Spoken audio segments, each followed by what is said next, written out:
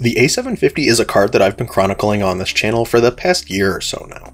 And despite some initial weird performance and graphical glitches, a lot has improved on this card and architecture in general, making it worth considering as a budget alternative to the red and green teams.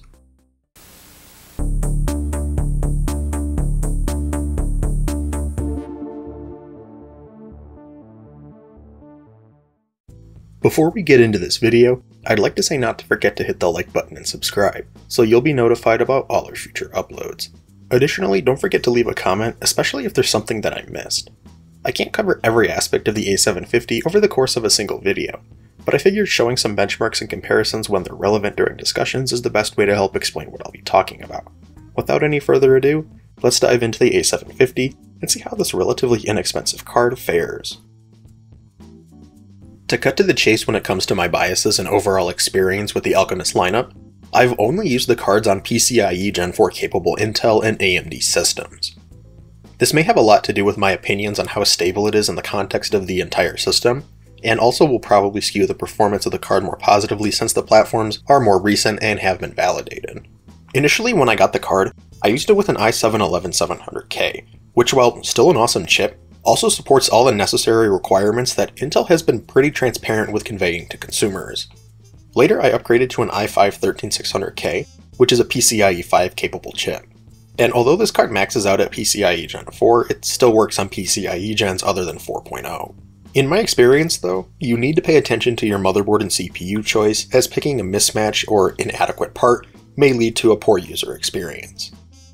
First off, you'll need resizable bar or smart access memory support on your motherboard, particularly in the BIOS. Contrary to popular belief, this technology has actually been built into the PCIe standard since something like Gen 2, making most systems by default able to accommodate this feature. Where things get screwy though is PCIe switching on their motherboard and CPU side of things. Support for these PCIe DMA features on the motherboard side of things didn't really start to become prevalent until about 2018 or 2019 depending on the manufacturer. As a result, you'll probably want to stick to at least an 11th gen Intel chip or a 3rd gen AMD Ryzen chip, as they're the first chips to support the new feature over PCIe 4. I mean, rebar on PCIe Gen 3 would technically work, but I'm way more comfortable recommending this card to users already making use of PCIe Gen 4 in their systems as it implies automatic compatibility with this feature, and also a couple of others. The overall transfer rates of a PCIe Gen 3 system are also going to be lower by default than a Gen 4 capable one. When it comes to raw bandwidth, 8 Gen 4 lanes are equivalent in bandwidth to 16 Gen 3 lanes, so you're literally cutting the data pipe to the rest of your system in half. At the end of the day, this is still 16 gigabytes per second of bidirectional data flow to and from the GPU in a worst case scenario. But some pewter nerds may also see this and want a PCI Gen 4 capable system as a result. Additionally, I generally recommend you pair this card with an Intel chip if you're looking for an easy plug-and-play experience. Like I mentioned before, these chips are validated to work with the Intel GPU, and although they still work with AMD chips, I'm just not as familiar with the quirks and oddities of how this architecture handles the AM4 or AM5 platforms. As a result, I'm more comfortable recommending Alchemist cards to Intel based users, as it's just more stable in my limited time with AMD platforms. My overall experience with installing this card is also that which was marked with relatively little frustration. Initially, when I got my hands on the A750, the drivers installed normally, the card wasn't emitting ionizing radiation, and probably about 75% plus of games ran, at least without crashing the system. Now at this point in early 2024, the A750 plays literally all games I've tried on it, but there might be some graphical errors still in some games here and there.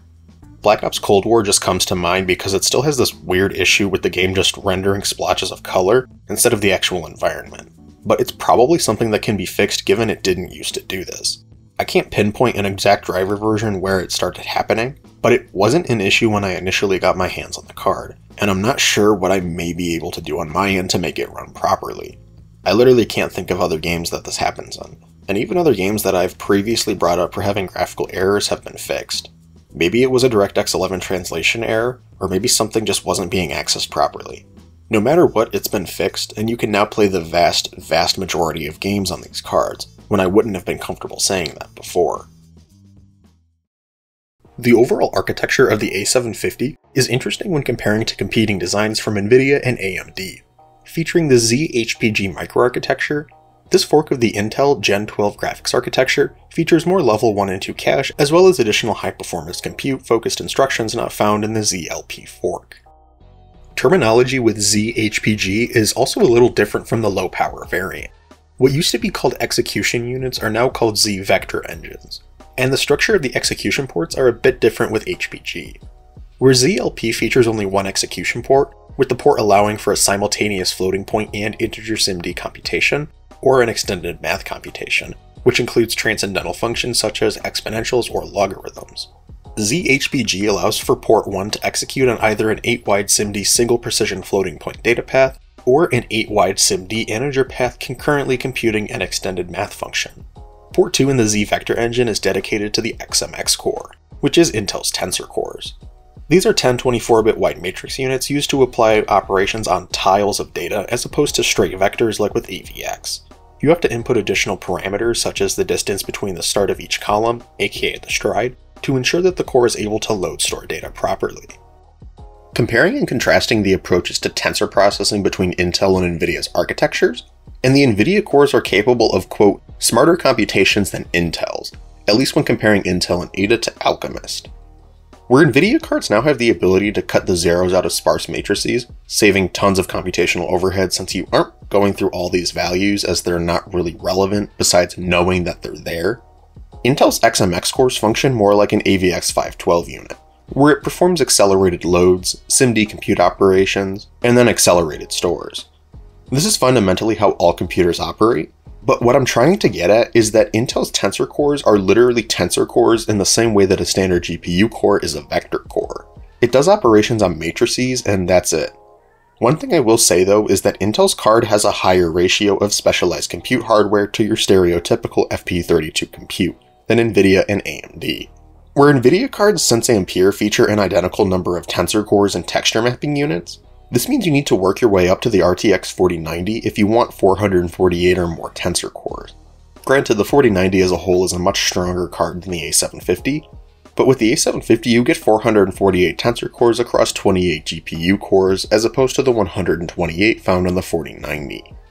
Because of the performance tricks I mentioned earlier, the 184 NVIDIA tensor cores found in the RTX 4070 overall have higher data throughput than the 448 Intel XMX cores. But the fact that this much specialized compute is on a card that's this inexpensive is a nice inclusion if you plan to write software to take advantage of it. Looking at the cache structures, and the Gen 12.7 architecture as a whole is relatively well equipped to handle high performance 3D graphics computations and maintaining said high throughput. With 192 kilobytes of L1 data cache per Xe vector engine, and an additional 64 kilobyte block of texture cache, each core in the card has a relatively large pool of on-die SRAM to keep itself fed. To put this cache system into perspective, Ampere and Ada feature 128 kilobytes of L1 data and 64 kilobytes of L1 texture cache per SM, with GPUs having between 24 and 128 SMs depending on the model. The A750 also features a 12 MB L2 cache that functions more like a traditional unified L3 cache in a CPU based on the research that I've done. This is pretty standard for an Intel chip to feature 12 megs of unified last level cache, and comparing to other newer cards on the market at this price point, it actually falls behind. The RTX 4060 features 24 megabytes of level 2 cache, and although that doesn't function as a unified pool like on this card, it does on the RX 6700 XT, which comes in with an enormous 96 megabytes of L3. I don't think the cache size is hindering the performance on the A750, especially considering the performance of the card isn't that far behind the A750 despite the cuts to the L2 cache. What is the cache in this card feeding? The short answer is a cut down DG2 512 GPU die manufactured on TSMC 6nm.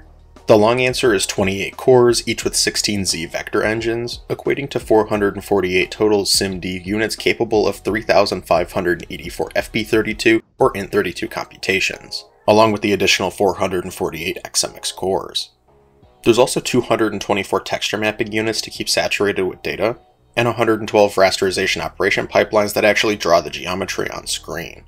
When it comes to parallel operations, this card has the capabilities to perform incredibly well in highly parallel workloads written to take advantage of all the hardware on board. And for the most part, I think that APIs like Vulkan, DirectX, and OpenGL do a pretty good job of parallelizing when possible. However, not all software does. It's just something to keep in mind as we move forward with the specifications. With 8GB of standard 16 gigabit per second GDDR6, the card has ample room to store texture and model data if you're looking to game at 1080p. This is also across 8 memory controllers, while competing cards in this price range are stuck with either 4 or 6. This equates to 256 bits total, capable of 512 gigabytes per second of total bandwidth across all the controllers. This is actually superior to the RTX 4070 that I've got now, so the horsepower is there to perform large data transfers relatively quickly. Unfortunately, the end user can't adjust the memory clocks, but I'd be curious to see how faster GDDR6 or G6X would help performance. In terms of clock speed, the A750 is very similar, almost identical in fact, to the A770 that I've got. With a base clock of 2050 MHz and an out-of-the-box boost clock of 2.4 GHz, this card clocks relatively quickly when compared to older gen parts, and on par with current gen cards from both AMD and Nvidia. However, Intel's driver software allows you to adjust the clocks indirectly by pushing up the voltage frequency curve. This is overall pretty quick, and allows the card to hit 17.2 teraflops of FP32 compute power at stock, and well over 18.75 at the adjusted 2616 MHz overclock. The pixel and texture fill rates are also ridiculously high on the card at the stock clocks, with just under 269 gigapixels and 538 gigatexels per second of respective pixel and texture fill rate. This is honestly enough to comfortably render 4K scenes. But the ratio of this hardware to shading hardware is high enough to the point where the shaders might actually be bottlenecking the front end and not utilizing the texture mapping units to the fullest. I'm just guessing, but that's my initial impression after messing with the card and doing some 3D graphics work on them. Power draw for the A750 is also pretty standard for the RTX 30 series and RX 6000 series. With a base TDP of 225 watts, the card was capable of hitting up to 250 watts. But in reality, it hung out at or significantly below the base TDP a majority of the time. This isn't as bad as a card like the 3080, which dumps out heat into your room, but at the same time it's not really all that efficient considering the level of performance on offer. We're looking at 3060-esque frame rates and a power envelope more similar to a 3070 or RX 6800 non-XT. If efficiency of your components is a big deal to you, then the Nvidia and AMD offerings at this price point would draw less power and perform better in games. The 4060 immediately comes to mind as the core literally draws 115 watts at most, but if power consumption isn't as much of a concern, then the A750 isn't necessarily a power hog, but it's nothing to write home about. To see how the A750 performs, let's throw it into my test system, a decently powerful PC that shouldn't provide any hurdles the A750 will have to overcome. To ensure the GPU is the limiting factor, I've got an i5-13600K clocked to 5.5 GHz on the performance cores and a flat 4 GHz on the efficiency cores. The 6 hyper-threaded performance cores in this chip will allow the card to be saturated with render data. To keep the CPU and GPU fed with said data, we've got 64 gigs of 3.6 gigabit per second DDR4, which while not as fast as lower end DDR5, will perform adequately for the purposes of this video, and won't bottleneck the CPU, especially when paired with an A750. Additional system test specs are in the description should you want to replicate these tests for yourself. Without any further ado, let's dive into the ARC A750, and see how this card performs in games.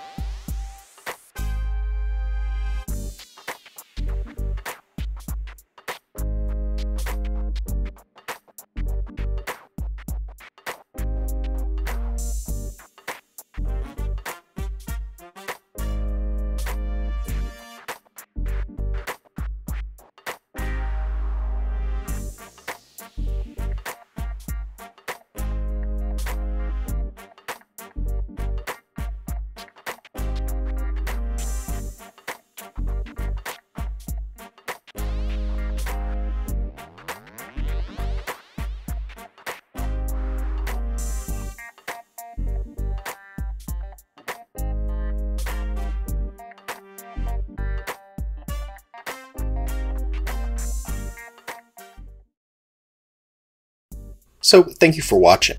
And if you enjoyed, don't forget to leave a like and subscribe, and click the bell icon so you'll be notified about all our future uploads. Let me know what you guys think about the A750. Does it meet your performance expectations, or would you rather get something more powerful for a similar price? That's all I really have to say on the matter.